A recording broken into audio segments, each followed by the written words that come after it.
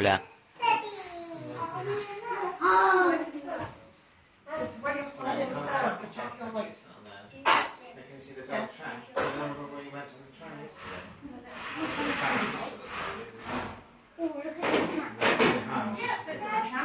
Hola. Bueno, estamos en el aeropuerto internacional de Croydon, que no estoy seguro, pero aparentemente fue el primer aeropuerto internacional del mundo. Eh, estamos en el sur de Londres. Este aeropuerto operó a partir de 1920 hasta casi 1950. Fue aeropuerto militar, pero mayormente fue un aeropuerto eh, también de, operaciones comerciales y había realmente bastantes vuelos desde aquí. Desde aquí se iba a cualquier parte del mundo en 1930, porque todavía no existían ni Heathrow, ni Gatwick, ni ningún otro. Así que desde aquí era de donde se salía el edificio ahora está conservado y es um, algunas partes son oficinas, pero también hay un museo y se puede visitar los domingos. Aquí hay un asiento de, de final de los 30, pero, pero aquí por ejemplo hay un asiento de los 20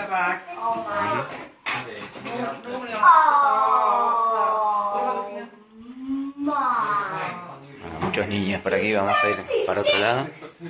Acá hay otro asiento también de época. Hélices.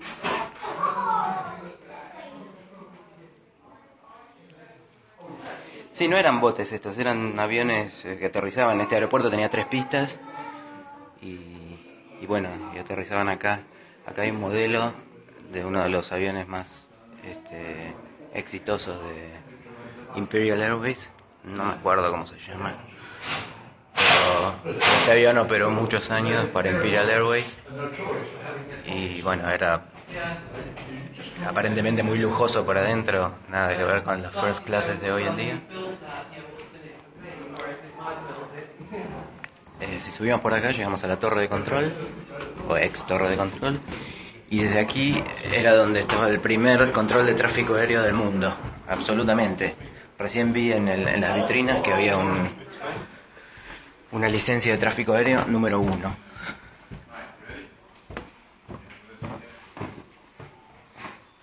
Ok, acá estamos, lo que es la torre de control, que bueno, ya no es más una torre de control y ya no hay más pistas afuera.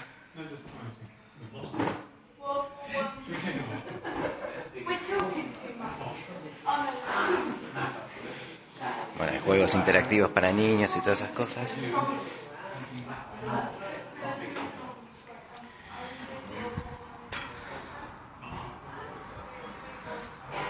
Un estacionamiento. Allí no sé si llega a ver, está, hay un hotel que es el hotel original que estaba aquí para los pasajeros. A ver otro motel.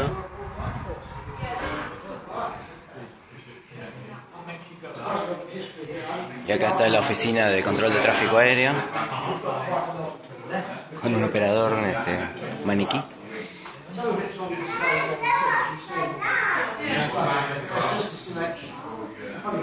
Por acá se comunicaban por radio con todos los aviones y mantenían control. Mapas, y según me explicó un señor recién, eh, se inventó prácticamente todo lo que es eh, tráfico aéreo hoy en día y que algunas cosas aún se usan.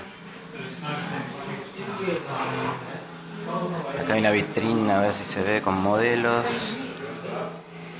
Modelos, modelos, modelos, medallas.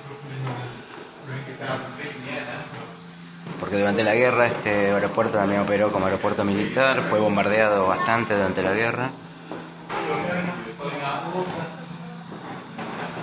Más fotos, fotos. Fotos.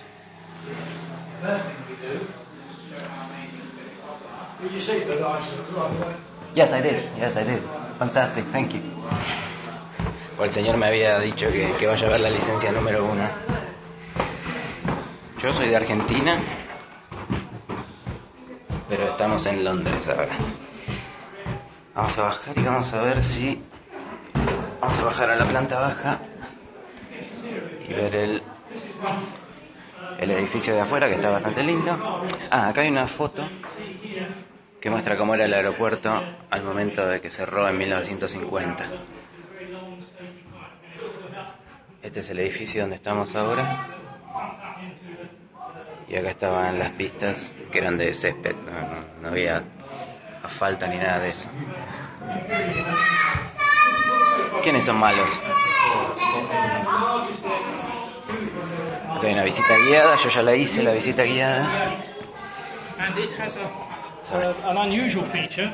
You'll see that actually in the wing roots there are three windows on each side, and that meant there were three seats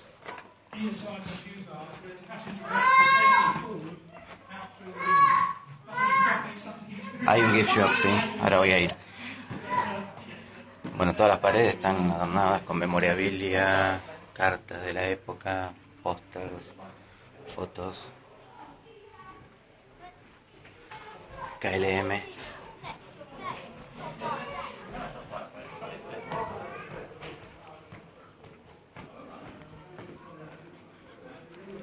Que hay una antigua escalerilla para subir a, los aviones. Este, después nos mostraron que por aquí, no sé si puedo ir ahora. A ver, está cerrado. Aquí. Había una. Esto es lo que era una puerta de embarque. ¿Mm? Por aquí subían los pasajeros, venían por aquí. Y esta puerta, que es original, la puerta de madera, eh, es por donde abordaban el avión. El avión estaría ahí afuera, a pocos metros, y todos venían por aquí y, eh, y abordaban. Bueno, lástima, no se ve bien la puerta por, por el contraluz. Pero es una puerta de madera original de- del aeropuerto.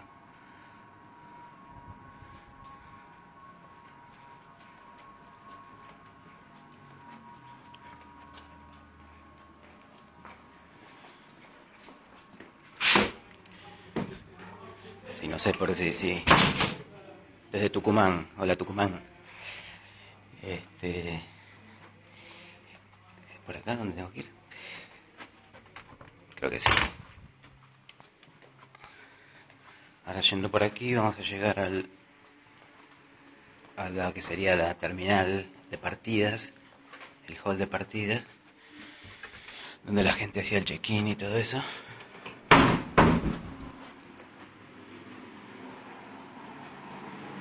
Aquí.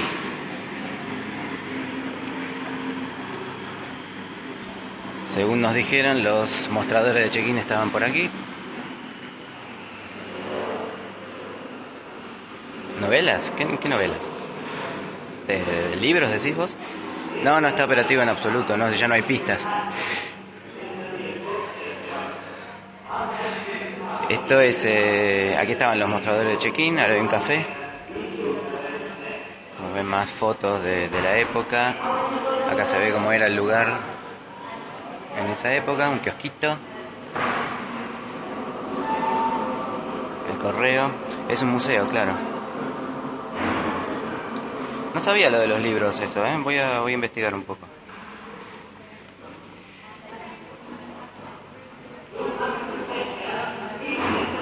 Hola, Palomar.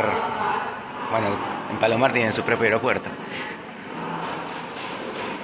Así que acá estaba el check-in, esta es la misma foto que, que vimos recién. A ver si se llega a ver acá. Eso que está ahí en el medio era, se llamaba el time zone y mostraba las horas en todos los destinos. Obviamente, bueno, se ve bien por el reflejo.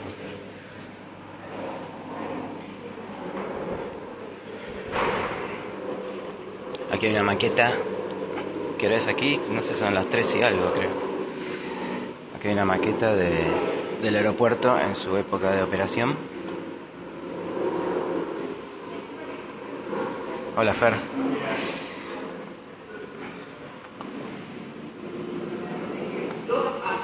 Este es el edificio donde estamos ahora. Ahí se ve una antena, esa cúpula de vidrio que, que ven ahí atrás. Es esto que está aquí.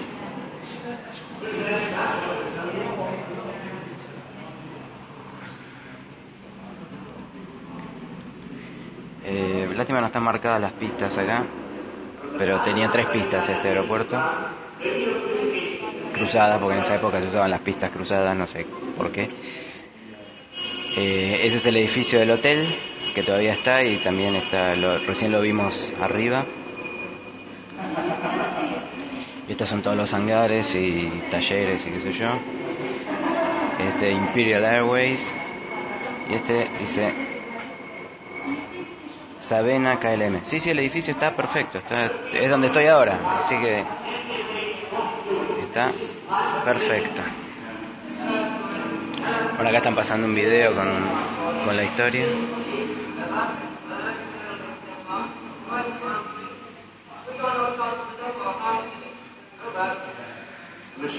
Estos son los escuadrones militares que... Es una maqueta birro.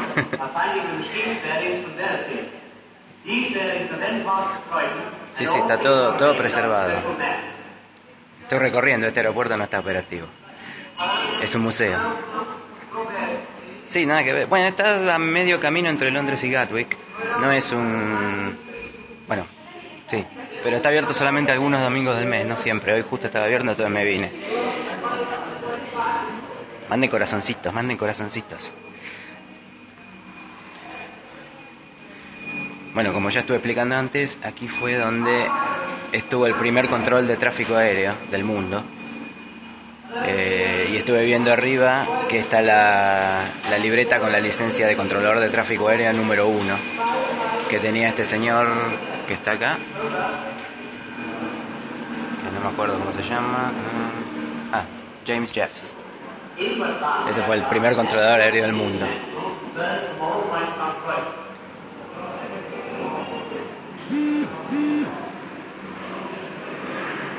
También acá donde se inició, se, usó por primera vez eh, Mayday para pedir auxilio. Se inventó acá, digamos.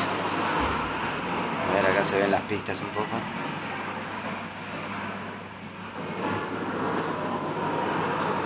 Aquí está la torre de control donde acabamos de estar hace un rato.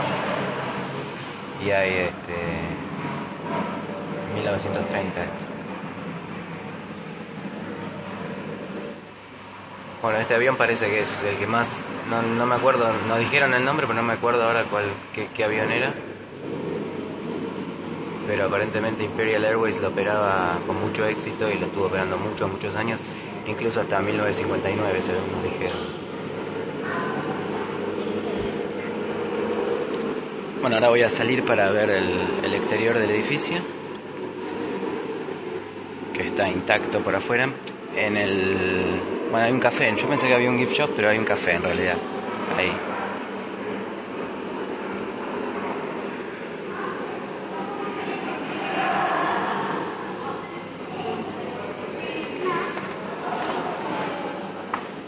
Sí, sí, era, era, este fue el primer aeropuerto internacional del Reino Unido, no sé si del mundo, pero seguramente también uno de los primeros. Y hasta Australia volaban. Esos aviones que mostré recién en las fotos volaban hasta Australia. Tardaban dos semanas y el pasaje costaba 44 pounds. ¿Eh? Aquí hay un modelo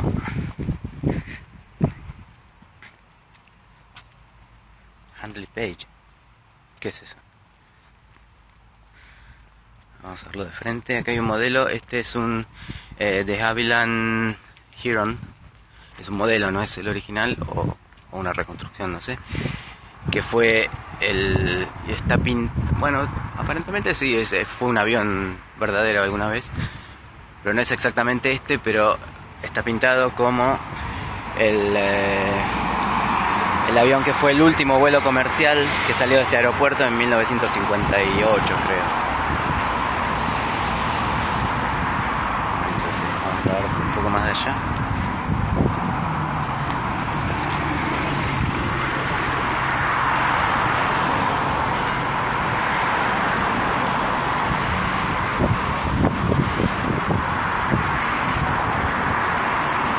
Gracias, Fer.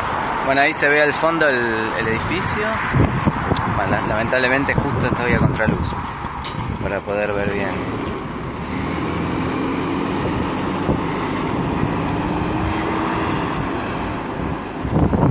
La verdad que es muy lindo y la verdad que es muy bueno. Hay, no sé si vieron ese señor que me preguntó si había visto la, la licencia. Eh, son los voluntarios de aquí que son guías y están todo el tiempo dando charlas y mostrando todo lo que hay.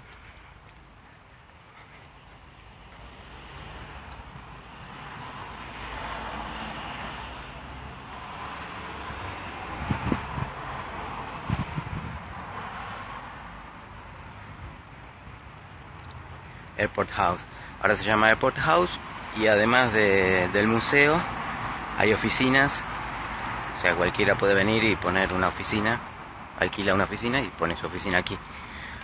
Ideal para geeks de la aviación, ¿no?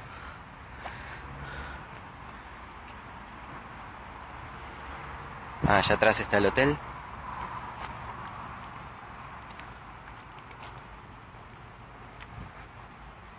Eh, sí, justamente. ¿Cómo sabías? No quiso, no sé por qué no quiso venir acá hoy. Mira vos. No es que esté podrida porque cuando viaja bien que le gusta, pero bueno.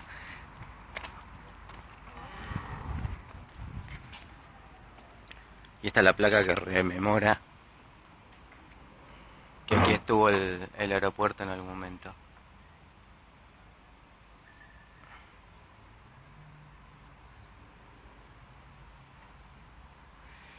Eh, bueno, eso ha sido todo por hoy. Voy a sacar un poco más de fotos y después seguramente pondré un post en el blog en volarporelmundo.com, así que pueden mirarlo ahí también y subir este mismo video para, para que lo puedan ver los que quieran. Bueno, gracias, nos vemos, chau.